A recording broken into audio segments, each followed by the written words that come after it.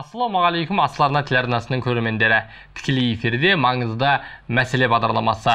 Дәл бүгін талқылайтын маңызды мәселеміз мамандық таңдау турасында. Шындығында мамандық таңдау адамның тағдырына әсер ететін ең үлкен оқиғалардың бірі. Ендеше қателеспеу үшін не істеуіміз керек? Бүгінгі бағдарлама сол туралы болмақ. Бүгін эфиріміздің қонақтары әл фараби атындағы ұлттық университеті жоғары оқу орнына дейінгі білім беру факультетінің деканы қабылдау комиссиясының жауапты хатшысы жаппасов жарылқасын еркінұлы сондай ақ әл фараби атындағы ұлттық университетінің қабылдау комиссиясының жауапты хатшысының орынбасары сапаров бақытжан жолдыбайұлы.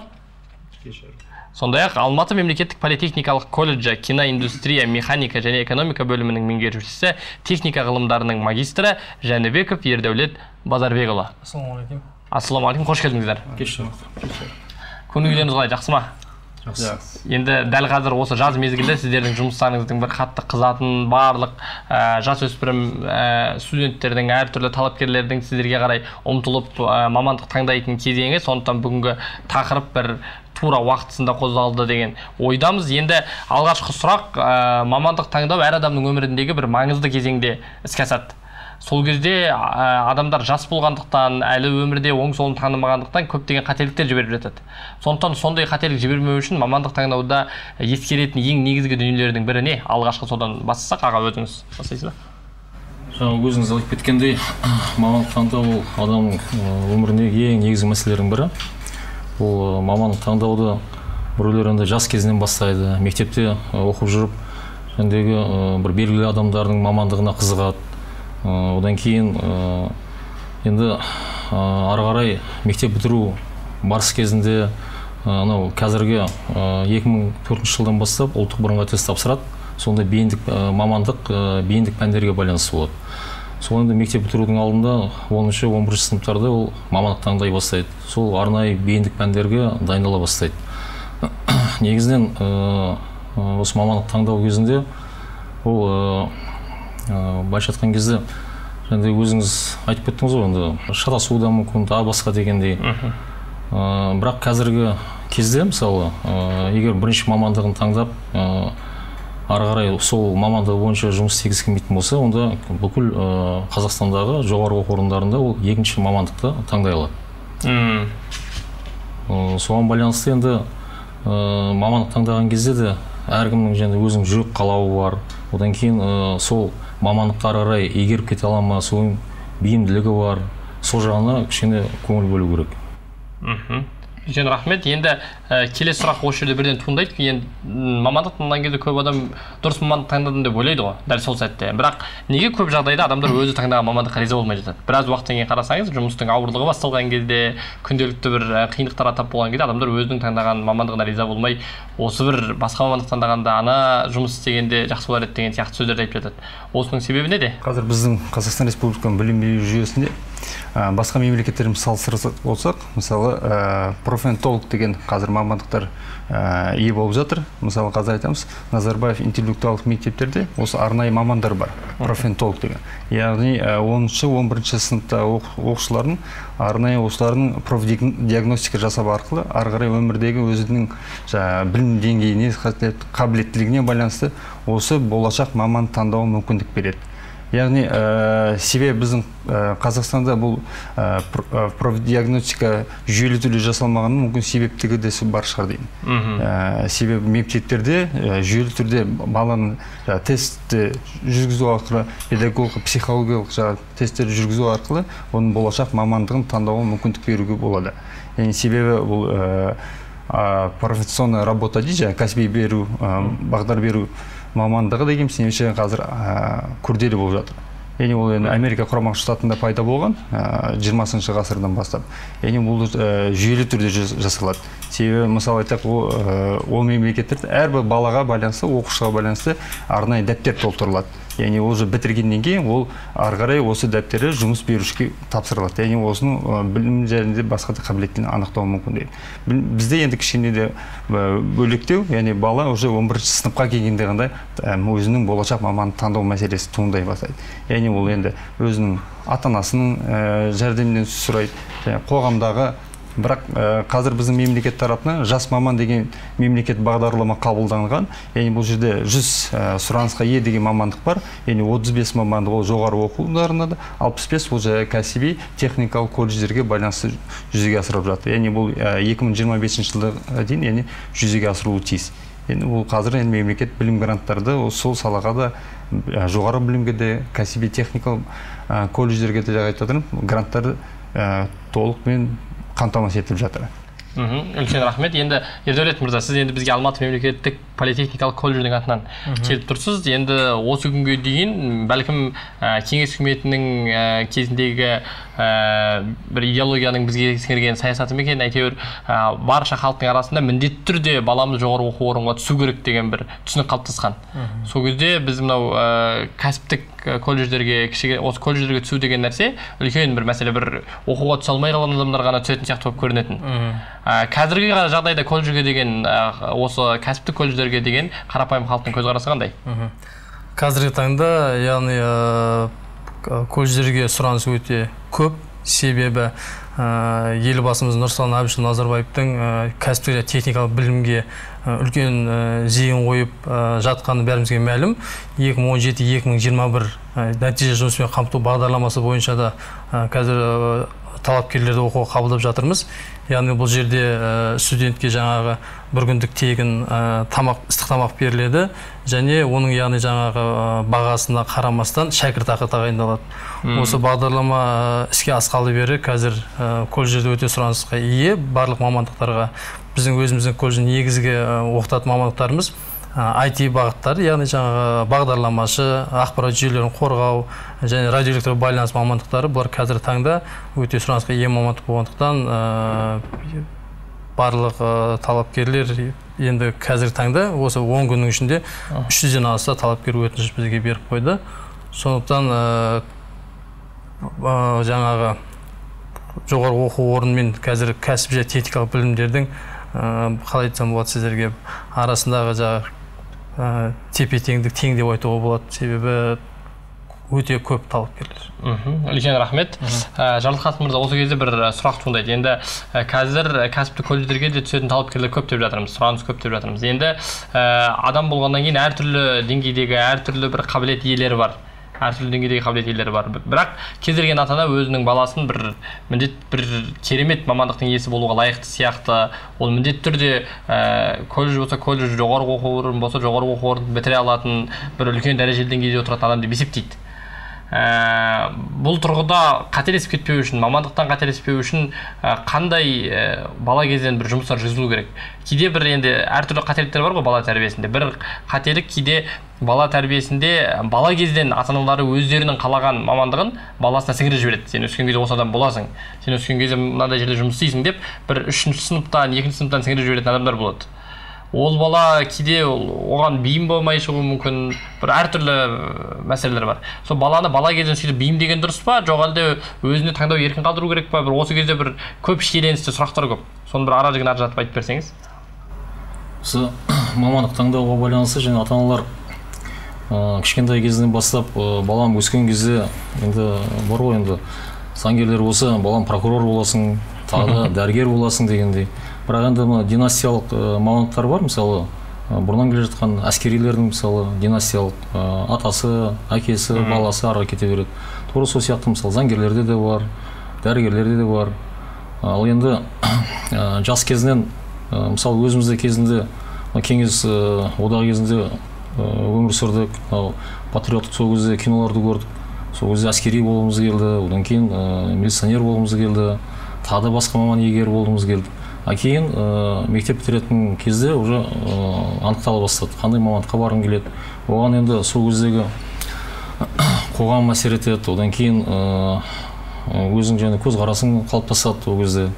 Соған байланысты енді мына мамандық таңдаған кезде де ә, жасөспірімдерге сен болашақта осындай мамандық егер боласың деп ә, ә, жәндегі сол бағытта ә, мысалы ол бала оны қабылдауы мүмкін. Мүмкін әкесі ә, бір мамандық егер болса баласының ә, бағыты басқаша да болуы мүмкін басқа бағытта да. Соған байланысты негізі бұл мамандық таңдауды сол ә, ә, жәндегі ә, жасы өзіне кейін ә, ары қарай да ә, енді бағыт бағдар ә, беру керек енді негізінен. Енді мысалы қазіргі таңдап жатқан кезде ә, және де айтып кеттік қой ұлттық бірыңғай тест бойынша ә, бейіндік пәндер таңдайды. Сол мектептің соңғы жылдарында. Сонымен қатар қазір мемлекеттің ә, бөлінген гранттар қай мамандыққа көбірек бөлінеді деген. Қазір мына соңғы кезде техникалық ә, одан кейін ә, бағыты бойынша көп гранттар бөлініп жатыр мысалы биылдың өзіне елу бакалавр бойынша елу үш мыңнан астам грант бөлінеді. Енді басым көпшілігі осы жаратылыстану осы техникалық бағыт бойынша. Қазір енді оқушылардың таңдаған бейіндік пәндерін қарасақ осы физика математика осы бағыт бойынша. Олар енді ә, енді әр ата ана ә, өзінің баласының және мемлекеттік грантқа грантқа ә, егер болсын деп ары қарай тегін оқысын деген ойда болады. Ары қарай ол бала ә, және физика математика бейіндік пәнін таңдайды ұлттық бірыңғай тест тапсырады мемлекеттік грант иегері болады. Бірақ ары қарай өзінің ә, жүрек қалауы болмағандықтан ол кейін бір жылдан кейін екі жылдан кейін оқи алмай қалуы мүмкін. Мысалы көп жоғары оқу орындарда ә, байқайсың мынау ә, мемлекеттік гранттар ә, босап қалады. Белгілі бір мамандықтардың. Одан кейін оған қайтадан конкурс жарияланады. Осыған байланысты енді бұл жерде енді кешенді жұмыс жүргізу керек енді. Баланың өзінің қабілетін анықтау керек. Және әріптесім айтқандай сондай бір ұйымдар құрылып қазір мысалы кішкентай кезінен бастап жұмыс жүргізу керек дегендей. Үлкен рахмет. Иә шындығында қазақтада әке балаға сыншы деп жатады ғой. Ата анасы ең әуелі ата анасы өзінің баласының қай салаға бейім екенін өзі анықтайтын жұмыс жүргізу керек сияқты бұл енді үлкен психологиялық жұмыс қой. Бұрын қазақтың ә, шежіресіне қазақтың тарихына қарасақ та біздің ата бабаларымыз өздерінің балаларын белгілі бір сынап отырып жақсы бір бағытқа қарай ұштап сол бағытқа қарай өздері жол сілтеп отырған екен. Бұл енді ата ана мен баланың арасындағы бір тығыз қарым қатынасты үлкен тәрбиелік жұмыстың дұрыс жүргізілгенінің нәтижесінде болса керек. Енді егер өзінің мүмкіндігі ата ананың мүмкіндігі жетпеген жағдайда өздеріңіз айтып отқандай арнайы мамандардың көмегіне жүгініп ә, мамандық таңдауға көмектесуге болады деп отырмыз. Енді қазір шындығында ә, біздің еліміздегі мәселелердің үлкен мәселелердің бірі бізде ә, нағыз маман тапшы. Кез келген жұмыста.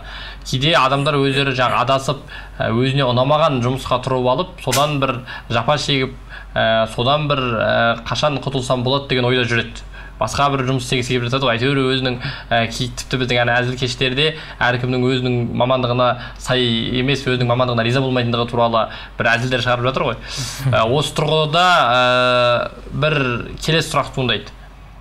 Адам егер өзінің мамандығына риза болмаса жасы келген адамның мамандықты өзгертіп жіберуі қаншалықты дұрыс? Өзі бір жасың келген кезде бір басқа мамандық оқып жатқан бір ұят сияқты нәрсе болады. Бірақ оны өзгертпейін десең қазіргі ә, жұмысың өзіңе ұнамайды. Одан бір табыссыз болып жатқан сияқтысың. Болмаса басқа да бір кемшіліктер көресің. Сол кезде жасы келген адамның жасына қарамай мамандықты өзгертіп жүргені жалпы дұрыс дүние ме? Соны айтсаңыздар. Ну қазір енді ә, экономиканың сұранысына байланысты еңбек нарығына сұранысқа байланысты ол мамандықты ауыстыру қазір жиі кездесіп жатыр. Ә, өзіміздің жұмыс барысында ә, айтамыз екінші білім алуға көптеген басқа маманның ә, талапкерлері келіп жатыр. Себебі мысалы айтсақ ол өз мамандық бірінші деңгейде алған мамандығына қанағаттанбайды. Яғни жұмыстың деңгейі сәйкес келмейді немесе жалақысы сәйкес келмейді. Сондықтан қазір айтайық көпке сұраныс қана психология мамандыққа заңгерлік мамандыққа әліге дейін сұраныс. Егер екінші жоғары білім алып жатқан көптеген қазір талапкерлер бар. Бірақ соған бері өзінің бірінші алған біліммен сәйкес болу керек ол. Себебі басқа мысалы техникадан келген бала ол ә, заңгерді түсіну өте қиын болады. Сондықтан өзіне кішкене жақындау мамандықты келіп оқып жатырған. Бірақ бұл жерде ә, біздің мемлекет тарапынан да ә, айтамыз ә, қайта кәсіби даярлау деген қазір бағдарлама жүзеге асырылады центр занятости деп айтамыз. Ә, олар жұмыспен қамту орталығы осы ә, өзінің бірінші алған дейін білімнен кейін басқа қазір сұранысқа ие мамандықтарға қайтадан дайындалу деген жүзеге асырылып жатыр. Себебі ол ә, кейбір мамандықтар айтайық ол совет уақытында алған мамандықтар қазір ие болмай қалады. Қазір қоғамға қажет мамандықтарды енді қайтадан игеріп мүмкіндік беріп жатыр енді. Мхм. Үлкен рахмет. Енді осы кезде келесі сұрақ тыңдайды болашақта жалпы керексіз болып қалатын жойылып жатқан мамандықтар бар ма? Қазірден осы жас талапкерлерге айтып қояйық осы бір мамандықтарға ә, үміт артпаңыздар деген сияқты. Болашақта жойылып кетеді ау деген бір мамандықтың түрлері бар ма? Соны айтып қойсаңыздар. Енді ол кездеседі бірақ енді қазір ә, басқа жоғары оқу ә, осы бар мамандықтарының ә, әріптестеріміз ренжіп қалуы мүмкін. Себебі ол қазір талапкерлер нағыз ә, осы ә, айтайық сұраныс болып қалуы мүмкін деген бұл мамандық. Кейбір мамандықтар кездеседі себебі ә, жоғары оқу сұранысқа болмайтын мамандықтар. Себебі біз айтамыз ғой қазір мемлекет тарапынан жүз сұранысқа ие мамандықты бекітіп қойған ғой. Ә, сол бағыт бойынша қазір мемлекет жұмыс жасап жатыр. Және де қосымша басқа да жаңа мамандықтар ашылып жатыр да IT саласында біз айтып жатырмыз. IT саласында қазір сұранысқа кейбір ә, безопасность деген қазір ашылып жатыр да. Олар кейбір мамандықтар жоқ мамандықтар қазақстанда енді ашылып жатыр да. Себебі ол бұл салада енді қауіпсіздік жағынан иә қазір ұлттық қауіпсіздік мәселесін қарастырылады ол. Сондай сияқты ә, сұранысқа емес мамандықтар қазір кейбір жоғары оқу орындарында бар. Бірақ оны оған мемлекет тарапынан білім гранттары да беріліп жатыр. Себебі иә бөлінеді.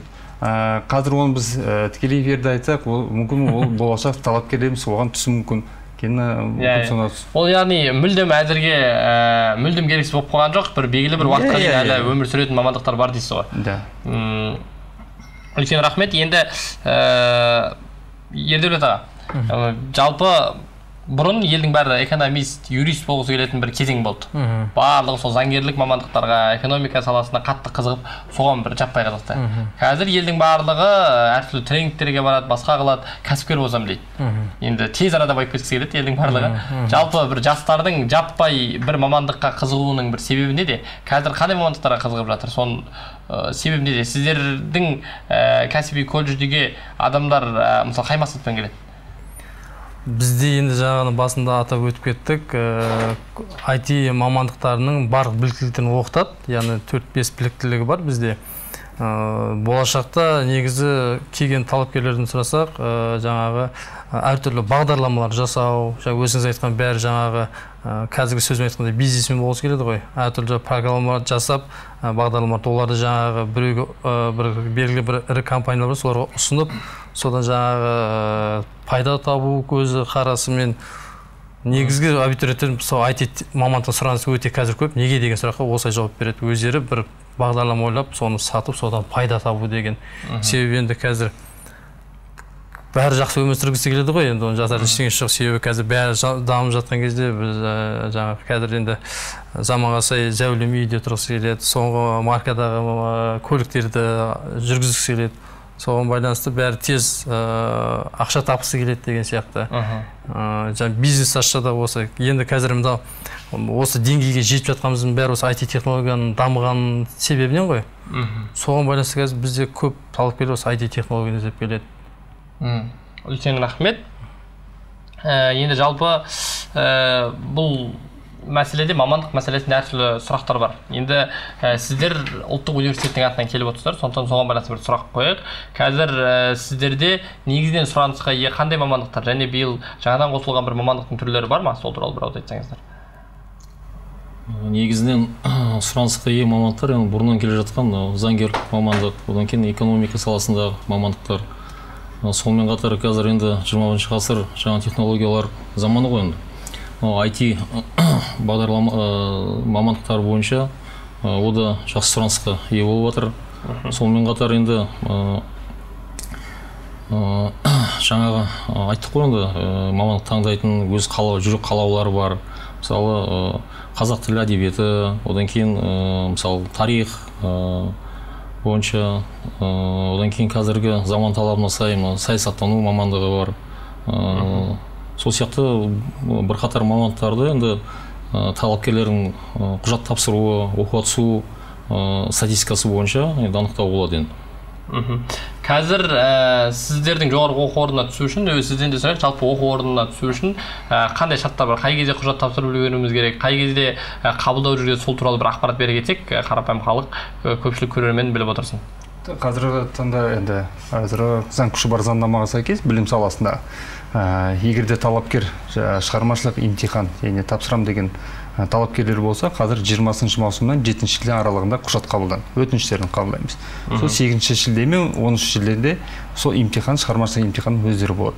А жалпы ә, білім беру ә, грантный ә, конкурсқа дейміз өтініш қабылдау ә, 10 шілде мен 20 шілдеде жүзеге асырылады яғни бірінші тамызда сол конкурстың нәтижесі шығады. Яғни талапкерлер өздерінің яғни білім беру грантына ие болып жатса сол егемен қазақстан газетіне яғни өздерін табуы мүмкін. Яғни осындай мерзімдер енді талапкерде анықталған. А жалпы биыл енді өзгерістер көп енді ә, қазір енді ұлттық бірыңғай тест аяқталды бүкіл қазақстан бойынша.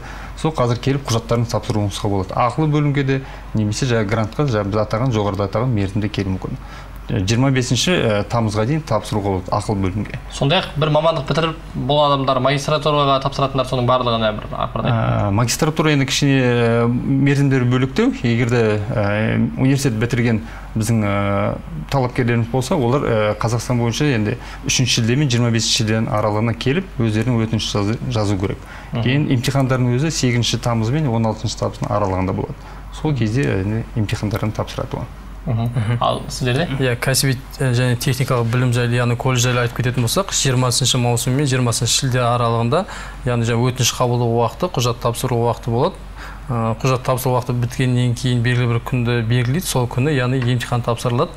Тоғызыншы сынып сыныптан кейінгі талапкерлер яғни ә, яғни қазақ классын бітіріп келген болса қазақ тілі мен математикадан яғни орыс классын бітіріп келсе яғни орыс тілі мен математикадан емтихан тапсырады.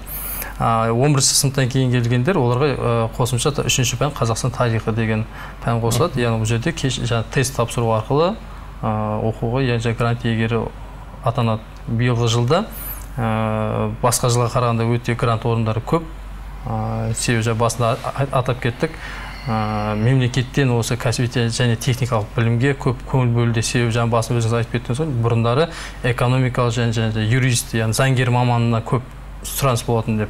Бізде енді қазір осы таңда жаңағы тех, техникалық мамандықтардың иегерлері өте тапшы. Сол себептен қазір грант орындары өте көп. Келген талапкерлер яғни мемлекеттен көмек болғандықтан өзіміз де ойлаймыз келген талапкерлер тегін білім алса екен деген сияқты үмітпенен.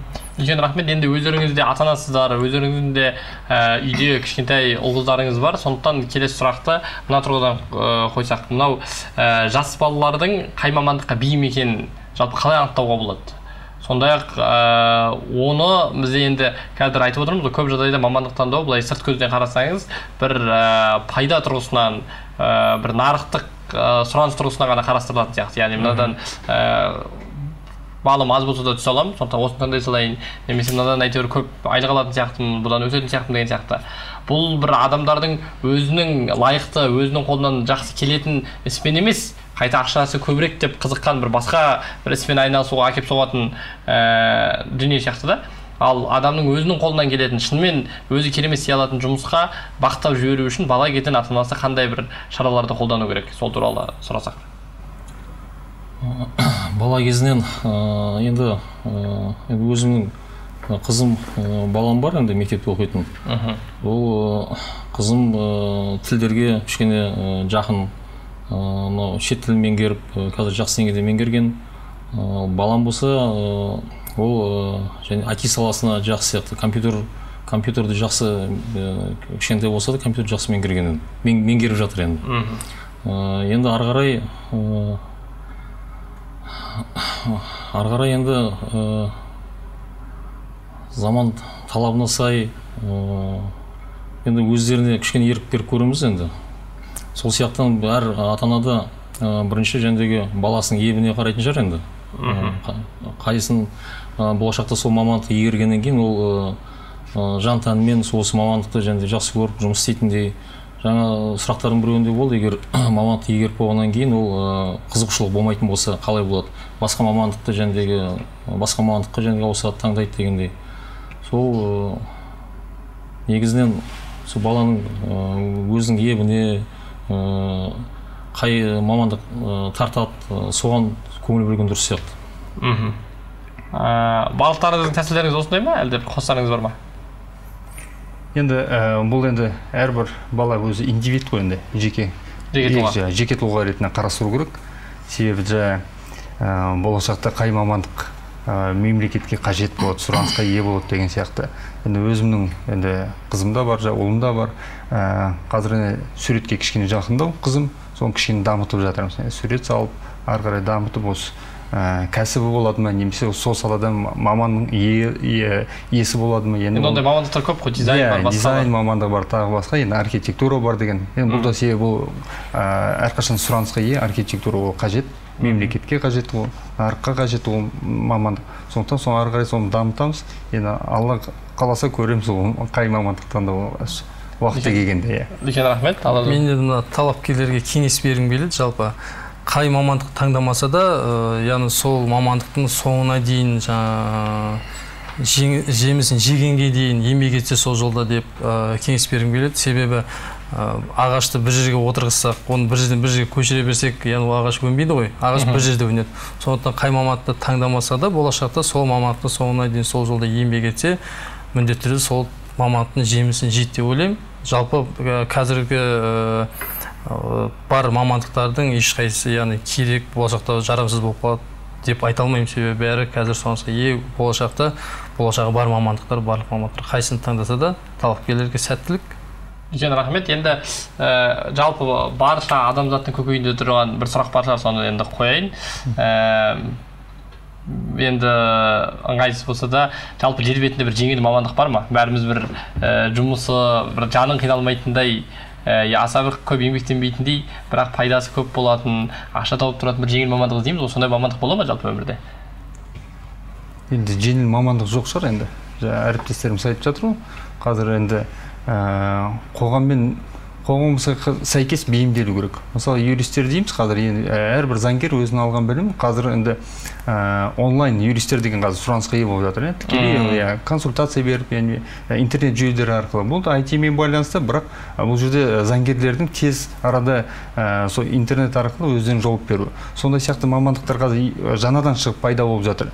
Бірақ сұранысқа ие. Бірақ ол да ә, талапқа ие болу керек. Яғни бұл айтамыз ә, жеңіл мамандық жоқ. Даже ә, мемлекет тарапынан айтамыз ә, ә, әрбір ә, 2017 жылдан бастап мына бірінші қаңтардан бастап әрбір ә, мемлекет білім грантына байланысты олар ә, өз отработка жасау керек дейміз да барып өзінің ауылына барып қызмет жасау керек педагогика мамандық болсын білім алғаннан кейін бар ауылдарына қызмет жасауымыз керек. Себебі сен ә, мұғалім болып дайындалды төрт жыл университет сен барып сол өзінің ауылында өзінің алған білімді сол жастарға беру керек екен. Енді жас ә, айтып жатырмыз ғой жеңіл мамандық жоқ шығар енді. Әрбір ол сантехник болсын слесарь болсын IT технолог ол бәрі ә, еңбекпен келетін зат қой. Ол жаңағыдай ары қарай дамыту керек. Ол менің қолымда қалтамда диплом бар болды мен ә, экономист юристпін деген енді қағида деген жоқ шығар сен уже жаңа ә, жаңа экономист болсың ә, жаңа IT мен байланысты жаңа один с деген бағдарламаны игеру керексің сияқты деген сияқты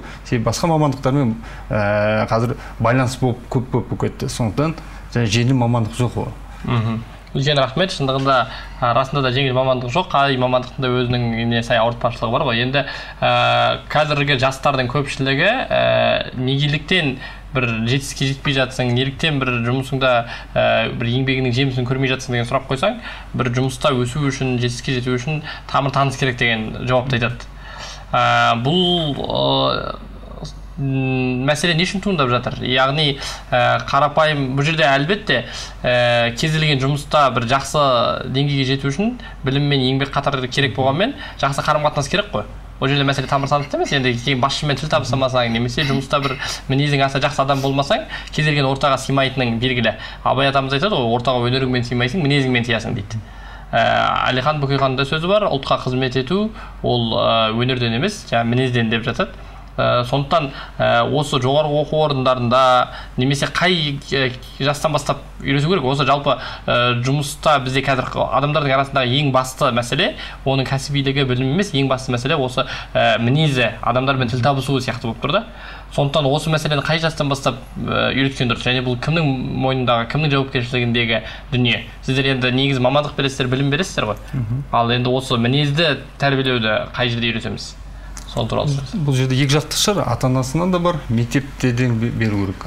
Себебі бұл ә, қазіргі таңда ә, жұмыс беруші айтамыз жұмыс беруші ә, өзінің ә, жұмыскерінен көп талап қояды. Енді ол ә, тілді меңгеретіндей ә, қосымша мамандама үшін бір адамды мысалы тілде береді ә, заңгер де болуы мүмкін. Сондықтан ол ә, сондықтан жаңа біз айтып жатырмыз сол мамандардың ә, мектепте де алған тәлімдері ата анасының и қоғамда өздерінің арасында ә, жора жолдастары достары бәрі әсер етеді. Мысалы кейбір ә, бізде қазір үлгі тұтады біз жоғарыда айттық назарбаев интеллектуалды мектептерде әрбір ә, оқушыға жаңағы лидерлік качестволарының пайда болу үшін оларда курстар береді семинар өткізеді. Яғни жалпы қарапайым біздің өзіміздің мектептерде осындайлар курстар семинар жүргізетін болсақ яғни әрбір ә, оқушы өзінің қоғамда қалай ұстау жұмыскермен қалай қарым қатынас ұстау деген енді уже мектеп кезінде уже ә, қалыптаса бастайды. Себебі ол ә, ол жерде еңбек қарым қатынастары бөлектеу енді сондықтан ол ә, сондай ә, жаңағы семинарлар курстарды өткізіп бейімдетіліп ары қарай жұмыс кезінде өзін ұстану болады. Ол енді университет деңгейде де жүзеге асырылады. Ол бәрібір де ә, жұмыс берушінің талаптарына сәйкес болу керек ол алып тұрсаңыз бар ма? Негізі иә жаңағы ә, баланың мінезі ә, сөз бар ғой. Ата көрген оқ жонар ана көрген томшер деп негізі баланың мінез құлқысы бәрі ә, анасының жатырынан негізі сіңіріледі ғой. Яғни ата анасынан ә, осы мінездің бәрі жаңағы өмірге бала келгеннен кейін ә, балаға үйретудің қажеті жоқ. Ол с- сыйған қ- ата анасына қарап үйренеді ғой. Сондықтан осы мінез құлқың бәрі ә, тікелей ата анасына байланысты ә, сол жаңағы баланың болашағына ә, жаңағы бейқам қараман ата аналар ең бірінші өзін адам өз өзімен күресу ғой ең тәрбие қиын жолы өз өздерімен дұрыс қарым қатынаста болса ата анасы балаға дұрыс ә, мінез сіңірсе жаңағы бала ә, тәрбиелеп шыққан бала міндетті түрде білім алса себебі тәрбие салынған білім адамзат, қас жауы ғой. Тәрбиелі болып шыққан бала міндетті түрде білімді болады. Тәрбие мен білім қатар жүрген жерде ол азамат жаңағы сіз айтып өткендей там, таныс тамыр деп айттыңыз ғой таныс тамырсыз ақ жаңағы өзінің жететін жетеді деп ойлаймыз. Өйткені ең басты нәрсе әдеп дейсіз ғой яки бұрынғы қарап отырсақ жаңағы әл фараби бабаларымыздың заманындағы ұстаздарда ең әуелі әдептен бастаған екен ғой сабақтарын яғни кез келген шәкірт ә, бір ұстазға шәкірт болса енді ол заманда бұндай үлкен университеттер ә, немесе үлкен медресе мектеп дегендер бір сирек қой көп емес жекелеген бір мұғалімдерге шәкірт болып келеді ғой сол кезде оған білімді бермес бұрын біраз уақыт өзіне қызмет қылдырып яғни жаңағы дәрет суын дайындатып басқа да бір қызметтерін көріп әдепке тәрбиелейді екен ғой соған әдепке әбден бала бейімделіп болған кезде ғана білім беруді бастайды екен бұл үрдісті осы заңдылықты қазір де аз аздан балалардың бойына сіңірсек яғни отбасынан бастасақ ұстаздарға деген құрметті арттырсақ бұл осы болашақта да адамдардың жақсы қабілетті жұмыскер болуына басшылармен өзінің қасындағы адамдармен тіл табысуына үлкен пайдасын тигізетін сияқты. Енді ә, бұл жерде тағы бір сұрақ бар. М, өмірде маңызы жоқ мамандық жоқ. Бірақ ә, қазіргі үлкен бұқаралық ақпарат құралдарының әсері ме екен? Ә, ел арасында ә, өнер адамдарының өнер адамдарының өмірі өнер адамдарының бір тіршілігі бізге қатты керемет сияқты көрінеді. Сондықтан біз ә, кез келген адам бізде қазір әнші болғысы келеді әртіс болғысы келеді танымал болғысы келеді. Бірақ қарап отырсаң әрқайсысының өзінің қадірі бар. Баяғыда бір үлкен өнер адамынан сұрап едік. Осы ауылына барған кезде айтқан ғой ауылдағы бір қарапайым тракторист ағамыз айтыпты да сендер деген үлкен жұлдызсыңдар ғой қолға ұстатпайсыңдар. Сендерді бір тойға шақыру үшін адамдар кезекке тұрады дегенде айтыпты жоқ сіздер жұлдызсыз депті ертең біз шөп шабатын уақыт келеді. Сол кезде осы тракторист ерлан ағамызды шығарамыз деп бәріміз ә, кезекке тұрып қаламыз деп. Сол сияқты әр адамның өзінің қадірі бар ғой әр адамның өзінің қадірі бар. Бірақ осы мамандықтардың ә, жақсы насихатталуы деген нәрсе үлкен жұмыс қазір енді айтып жатырмыз ғой IT саласы дамып жатыр әлеуметтік желі дамып жатыр деп жатырмыз. Әлеуметтік желі адам арқылы адамдарды насихаттау адамдардың қадірін арттыру деген өте бір оңай жұмыс болып қалды. Ә, бұл тұрғыдан ә, жалпы жоғары оқу орындарында ма екен ә, қосымша осындай бір білім беріле ма балаларды өзінің мамандығын алып жүрумен қатар сол мамандығын жақсы насихаттай алу деген нәрсені үйрете аламыз ба? Ә, әлде оның бір басқаша тәсілдері бар ма? Сол туралы білсек. Яғни ә, өз мамандығын ә, көрсету. Осы қазір енді барлық әлеуметтік желіге салады ғой соны дұрыс жағынан көрсету ә, қызықтыру. Өйткені қазір әркім мына жалпы шетелдіктерде де белгілі бір саланың журналистері болады екен да. Яғни жалпы журналисттер болады тілшілер болады және белгілі бір саланың тілшілері болады. Олар сол мамандықты насихаттаумен айналысады осы нәрсені қалай жүзеге асыруға болады? Біз қарапайым мамандардың бойына университетте білім берумен қатар осындай бір ә, өнер ә, дейміз ғой бұл да бір өнер ғой. Енді сол өнерді бойына сіңіру жұмысы қатар жүргізіле ма? Сіздердің оқу орындарында сол туралы сұрап жатырмыз яғни ә, жоғары оқу орындарында өзі арнайы ә, орталықтар болады. Жаңа бізде мансап және кәсіби өсу деген ә, біздің өзіміздің орталығымыз бар. Бұл жерде енді әрбір ә, біздің студентіміз өзінің жаңағы жақсы жағын жаңағы сіз айтып жатырғандай мамандығын басқа төмен оқып жатырған курстардағы студенттердің өздерін насихаттайды. Себебі біз қазір алға тұтамыз. Егер де біздің студент өзінің ә, алып жатқан ә, мамандығы бойынша ә, қосымша жұмыс жасап жатырған біз де оны студенттерді көтереміз. Ары қарай дамытамыз. Себебі біз қазір мемлекет тарапынан көптеген мүмкіндік жасап жатыр жаңағы академикалық саясатқа бостандық берілген. Яғни бұл алып жатырған біліммен қатар басқа да ә, мемлекеттердің осы қосымша білім алуға да мүмкіндік береді. Е, қос дипломдық деген бағдарламалар бар ә, стажировкалар бар. Яғни сондай ә, орталықтар арқылы яғни біздің студенттерімізге қазір мүмкіндіктер жасалып жатыр. Яғни оны жаңа сіз айтып жатырсыз жарнамалау енді ә, оқып жатырған. Яғни кейін жаңағы біз қазір осы ә, экономикада мемлекетте өзінің беделін алған жа- біздің жаңағы түлектерді біз үлгі тұтамыз. Жыл сайын өзінің түлектер күні деген анықталады біздің өзіміздің. Жаңағы біз мамыр айының соңғы ә, сенбі күні осы түлектер күні деп аталады. Ол жерде түлектер келіп өздерін жаңағы ә, қалай кәсіпке ә, осындай деңгейге жеткендері ә, біздің болашақ енді мамандарға түсіндіреді уже айтады жолдарын. Сонымен қатар мынау кәсіби бағдар беру жұмысы бойынша да әр мамандыққа байланысты ә, видеороликтер түсіріледі әлеуметтік желілерге салынады. Одан кейін осы ә, белгілі мамандықтың ә, белгілі мамандық бойынша вот біздің түлектерің ә, жоғары жетістіктерге жеткен болса сол ә, сол ә, түлектерді мысалы насихаттайды. Ә, сол ә, болашақ жәндегі ә, талапкерлерге де осы кәсіби бағдар беру жұмысы бойынша да осы ә, оқып жатқан мамандықтардың ә, насихат жұмыстары жүргізіледі. Әлеуметтік желілерде кездесулер ұйымдастырылады бұқаралық ақпарат құралдары бетінде де. Мысалы осындай жұмыстың арқасында мысалы әл фараби атындағы қазақ ұлттық университетінде былтыр он мыңнан он мыңнан астам жәндегі оқуға түсушілер болды былтырғы оқу жылында. Мхм. Былтырғы жылдың өзінде он мыңнан астам талапкер сіздердің оқу орнына түсті иә?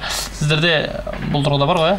Әрине жаңағы әріптестер айтып өткен нәрсе біздің колледжде міндетті түрде жүргізіледі. Яғни бұл жерде бізде ә, колледждің жалпы әлеуметтік желілері бар. Политех алматы деген жаңағы инстаграм желісі болсын фейсбук желісі болсын жаңағы қазір вконтакте деген желі бар.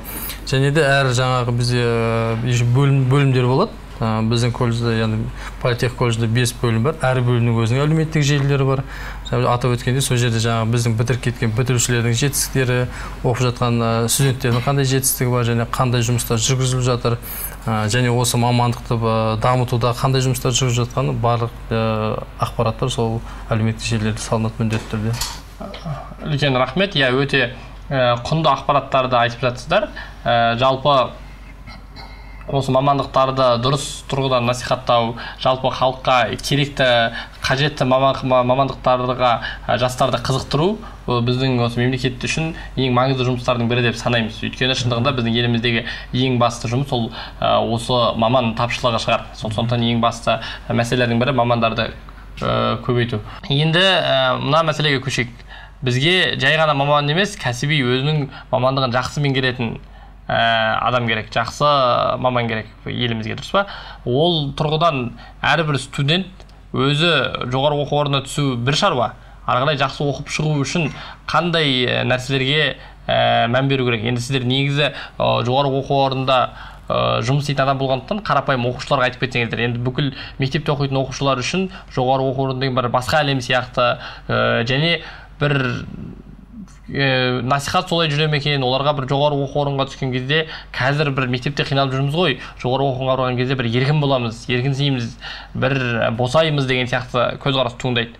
Бірақ бұл қаншалықты дұрыс? Ертең жақсы маман болу үшін қай нәрселерді жіберіп алмау керек қай нәрселерге қатты мән беру керек? Осыны бір алдын ала ескертіп бір нұсқау айтсаңыздар. Енді қазіргі оқушылар мектеп бітіргеннен кейін ә, жаңа өзіңіз айтпақшы жоғары оқу орнына түскеннен кейін кішкене еркін боламыз деген ол ә, кішкене қателеу болады. Жоғары оқу орнына түскеннен кейін ол күнделікті оқу керек болады. себебі қазір жоғары оқу орнында кредиттік жүйе бойынша ә, білім алады. кредиттік жүйе бойынша ол ә, мысалы мектепте ә, емтихан ә, тапсырып ең соңында баға алады. Ал бұл жерде емтихан бірнеше кезеңнен тұрады. Бірінші аралық бақылау одан кейін аралық жәндегі емтихан болады. одан кейін екінші аралық бақылау одан кейін қорытынды нәтиже емтиханы болады. Ә, бала ә, жәндегі накопительный система дейді ә, күнделікті балл жинап отырады. Ә, біздің студенттердің барлығы. Жаңағы ә, күнделікті ә, жәндегі дәріс болады семинар болады одан кейін лабораториялық сабақ болады. Енді мамандықтың мамандыққа байланысты енді. Сол бойынша күнделікті өзің ә, жауап беріп балын жинап отырады. Сол ә, ең соңында мысалы сабаққа қатыспай қатыспай келіп ең соңында бес алып кетемін деген ой ондай ондай жоқ қазір яғни оқу кезеңінің әр сәті соңғы нәтижеге әсер етеді иә? Ол бағасы балы жиналып отырады. Мхм. Одан кейін қосымша кітапханаларға барады одан кейін қосымша тапсырмалар береді, мысалы әр оқытушының өзінің және пәннің кешені болады. Оқу методикалық кешені одан кейін ә, силабус болады. Сонда барлық ә, пәнге байланысты кезеңдері қандай тапсырма қанша балл алады бәрі көрсетіліп тұрады. Ол студент жәндегі пәнді оқыған кезде сол алдында тұрады. Мысалы қандай сабақтан қандай балл алады қай аптада балл алады дегендей. Сонымен қатар әр аптаның балы бізде жәндегі универ жүйесі бар. Сол универ жүйесіне қойылып отырады. Мхм. Мен енді жаңа кәсіби және техникалық білім яғни колледждарда туралы айтып, кететін болсам бізде алматы политехникалық колледжінде білікті маман шығу үшін міндетті түрде ә, жаңа әлеуметтік серіктес дейміз. Яғни жұмыс берушілер сол кісілермен яғни келісімшартқа отырамыз. Ә, студенттер яғни теориялық білім алудан қосымша тәжірибелі білім алу керек. Яғни оқығаннан бөлек көзбен көріп қолмен ұстау деген сияқты. Әр жаңағы мамандыққа байланысты сол жерлерде тәжірибесін өтеді ә, қазіргі таңда дуалды оқыту жүйесіне көшіп жатырмыз. Яғни бұл жерде ә, студент қырық пайыз теориялық білім алса алпыс пайыз яғни кәсіп орындарда жаңағы әлеуметтік серіктестерде тәжірибе өтеді иә. Және де келген жаңағы сол жердегі әлеуметтік серіктес жұмыс берушілерден де колледжге шақыртылып сол жерде де сол кісілер де теория беріп яғни оқып жатады себебі дегеніміз жаңағы қазір мынау қарқынды даму болып жатыр ғой. Сондықтан соған ілесу барысында осындай жұмыстар жасалып жатыр.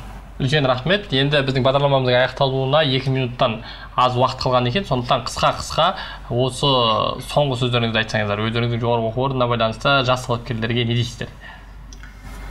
Енді ә, осы жиырмасыншы маусымнан ә, осы бірінші шілденің аралығында ұлттық бірыңғай тест өтті. Ә, биылғы мектеп түлектерінің барлығы ұлттық бірыңғай тест тапсырып өзінің ә, білім деңгейіне байланысты балдарын алды бейіндік пәндерін таңдады.